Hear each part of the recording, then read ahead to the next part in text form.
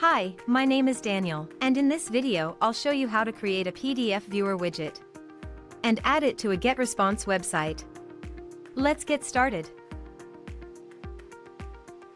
The PDF viewer is a great addition to any website.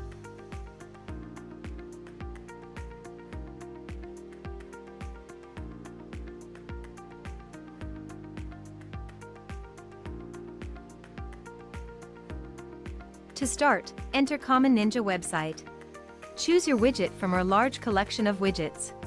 And once you've entered the widget page, click on the Create button to enter the editor.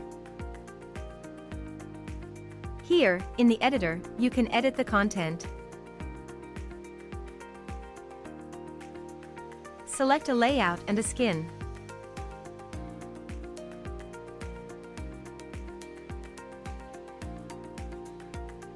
Customize the look and feel.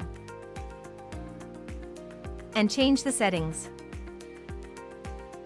When you're done, click the Save Changes button to save your work. If you don't have an account on Common Ninja yet, you'll have to register first. When you're ready to add the widget to your website, go back to the dashboard. Now, on the dashboard, you'll see the widget you've created. Click on the Add to Website button. In the window that opens, copy the code. And close the window. Remember, you can always return to the widget and keep on editing it. Now, let's head to the GetResponse editor. Please note, the widget content will only show on the preview and on the published site. In the GetResponse editor, on the right panel, select the custom code. Drag and place it in your page.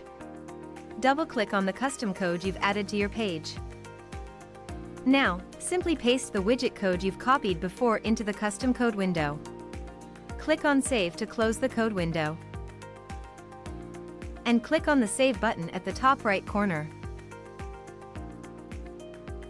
And that's it. Now, the PDF viewer will show on your website.